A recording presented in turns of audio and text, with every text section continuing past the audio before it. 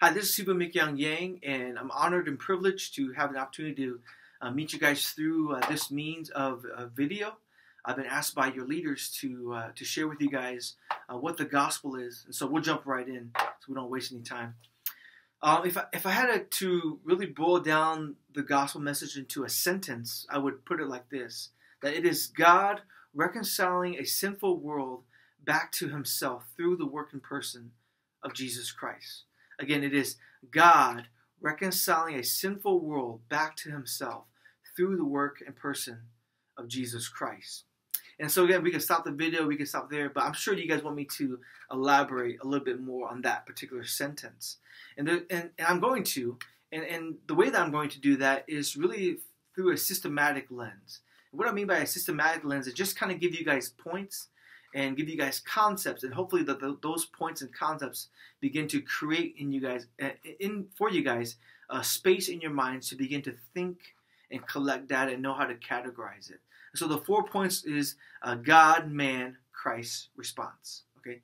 God man christ response. The first point god. So when we think about god we, we need to understand that god is the creator and when we, we, when we say that God is creator, we're also implying that there is a creator creation distinction, meaning that He is creator and we are creation. And so, because He is the creator, we are accountable to Him as that. And not only is He a, the creator, but He is a just God. And, and we see this throughout all of Scripture that, that the Bible communicates and co- conveys to us God's character that God is a just God God is a righteous God, God is upright. And at the same time, on the other side of that same coin, uh, the Bible says that God hates evil, God hates the wicked, God hates the sinner. Okay? So that's important for us to understand. Okay? So again, when we think about God, yes, God is God, but God is also the creator. And because God is creator and we are creation, we are accountable to him. And the second point is man. Okay, now that we understand God, we also understand man.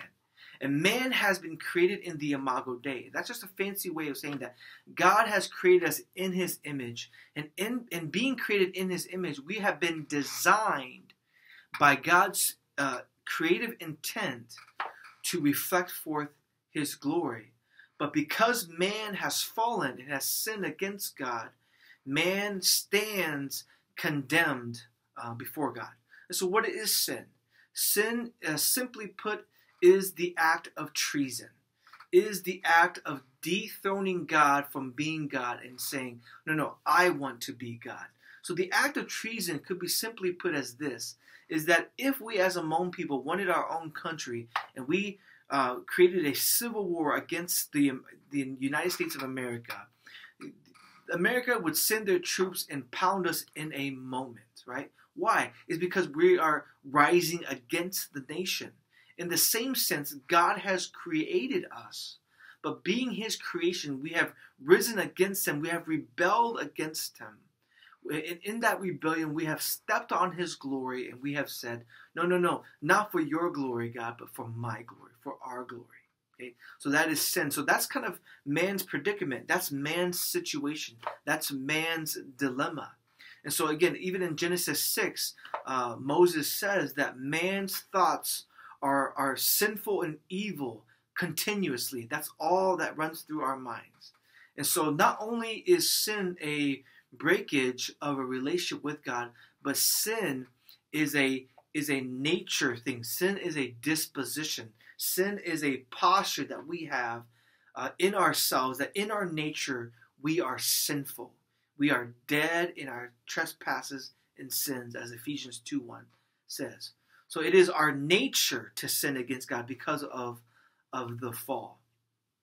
And then thirdly, we have Christ. So we have God, man, and now thirdly, Christ. But in God's infinite wisdom and, and infinite mercy and grace, He sent down His Son, Jesus Christ. And Jesus is the God man. So why is it important that Jesus is the God man? First of all, because we have sinned against an infinite God. And that infinite worth needs to be satisfied. That sin that we sinned against, or, or the God that we sinned against, has an infinite worth. And in order to repay that infinite worth, we need something that has that same value. Okay? Has that same value. And in a sense, Jesus comes and he is the God man, and he is God in the flesh, and he holds that same value. And so he substitutes himself for our place. He sees us as sinners, and because he loves us and because he loves his glory, God's glory, he substitutes himself in our place and repays the, the, the wrath of God, and he takes on the wrath of God unto himself. Okay, so that's why it's important that we understand that God is, uh, or that Jesus is is God. But why is it important that Jesus is man? It's important that Jesus is man as well, so that he can represent us. He can represent us. So we see that the first Adam failed and sinned, and that first Adam, he was our representative. He was our head. And so therefore, because he sinned, we sinned. Okay? And so now that Christ come, comes, he is the second Adam. He is the one that is our representative, so that when we put our faith in Him, now we come under His leadership. We come under His headship. We come under His represent, representation. And so, because He has satisfied um, the wrath of God, therefore the righteousness of Christ is also now accounted to us in our in our bank account, if you could say. So now that when God looks at us, He doesn't see sinful us, but He actually sees Christ in us. Okay, so Christ becomes a substitute um, through His infinite love for us. So we talked about God, man, Christ, and then now lastly, it is the response. And in the response, there's two uh, two ideas that we need to understand. The first idea is repentance. Okay, repentance. And so now that we see God for who He is as Creator, and now we begin to see ourselves that we are sinful people now we're looking for a Savior, and now that we've seen that Christ is that perfect Savior, we are now going to repent. And repent is not merely saying, oh, sorry, right? It's not a lackluster sorry, but repentance is having new eyes to see sin and to see the wickedness, the ugliness, the dirtiness, the filthiness of sin. And it is a turning from that sin. So when we look at the idea of repentance, repentance is one act, but in that one act, two things happen. Okay, so when I'm turning, okay, so when I'm turning from this side, I am turning from in this one act of turning, I am turning from sin, and I'm also simultaneously turning to Christ. And that's what happens with repentance, is that we turn from sin and we turn to Christ. So repentance then simply is a changing of mind. It is a changing of mind. It is now that the Holy Spirit has awakened my eyes to see God as creator and a just God, and to see myself clearly as a sinner, and to see Christ as the perfect and beautiful Savior. Now, therefore, there is a heart transformation that hates sin. Okay? True repentance cannot come if there is not a true hatred of sin. There's a true hatred of sin and a true affection, a true love for Christ. Okay? And then secondly, in that uh, next to repentance is faith. Now, what is faith? Faith is a trusting in what Christ has accomplished. It is trusting that the cross is sufficient to wash away my sins, to wash away the filth that I have committed against God, the treason, the rebelliousness against God. That the, the work of the cross is sufficient, is enough to wash that away.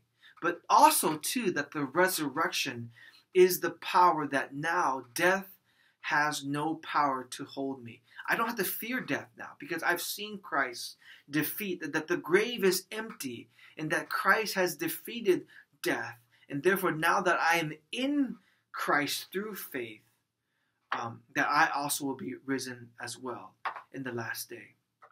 And so, therefore, faith is a vehicle that the Holy Spirit uses to unite me with union with Christ. So now that again, when God looks upon me, He doesn't just see Mick Young. He sees Mick Young, yes, but He also sees Christ living in me. And so he sees the righteousness of Christ um, exuberating forth from me because me, Christ and I are united in that sense, okay, through faith. Uh, and so uh, when we think about the gospel, we're thinking about God, man, Christ, and then the proper response to that. And that faith is going to lead us now, not to be lackadaisical, not to just be, well, you know, now that God has saved me, now I don't need to live a righteous life. No, but actually, faith then is the one that's is the, the vehicle that the Holy Spirit uses to stir in me an affection to desire to live a righteous life uh, through the power of the Holy Spirit for the glory of God. So I hope that, that this, this short video has been helpful, again, to create um, categories, to create buckets in our minds so that as we think about the gospel, we know how to store that information. And not only just information, but I hope that this video also then stirs in us an affection for the beauty of the gospel and the beauty of God's infinite wisdom and allowing us to be a part of this and, and coming and saving us through the work and person of Jesus Christ. I pray that your uh, your joy in Christ will grow more. I pray that your affections in Christ will grow more. And I pray that your love for the church, because you love Jesus, will grow more. And that we would truly be the church and, and proclaim the good news and make disciples of all nations. It has truly been a blessing and a joy to, to spend this time with you guys. I pray that it has been helpful. Look forward to hear uh, what God is going to do through this and through the local church that you're at. God bless you guys, and I love you guys.